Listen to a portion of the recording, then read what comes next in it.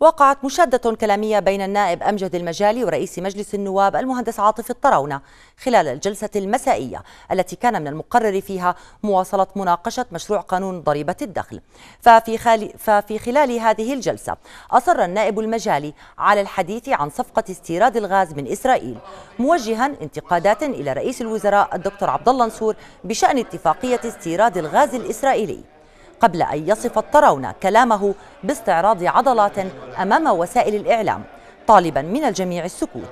ما أدى إلى حدوث مشادة كلامية بينهما رفع على إثرها الطراونة الجلسة. وقال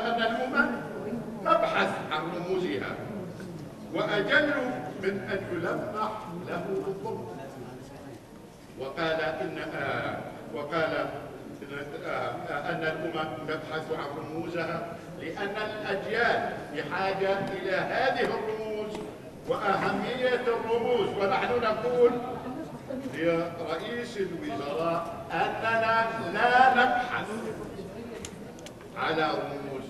لدينا رمز واحد ولاؤنا بالمطلق له.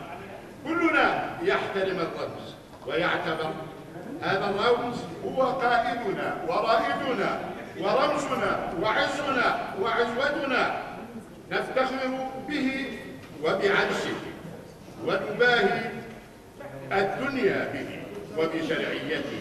ولن نسمح لكائن من كان بالدنيا أن يشكك في ذلك وأن ما يراد من هذا الكلام هو باطل ولا نعرف لمصلحة من نطلق تطلق تطلق الاتهامات على مجلس يعتبر أن الإساءة لجلالة الملك هي مخالفة دستورية وأن المس بجلالة الملك هو مس بالمجلس ومس بنا جميعا.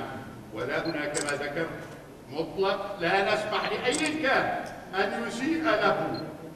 وأن يسيء إلى العلاقة العضوية التي تربطنا بجلالة الملك. وفي معرض رد الرئيس أيضا أشار دولته أن حكومته تتحمل المسؤولية.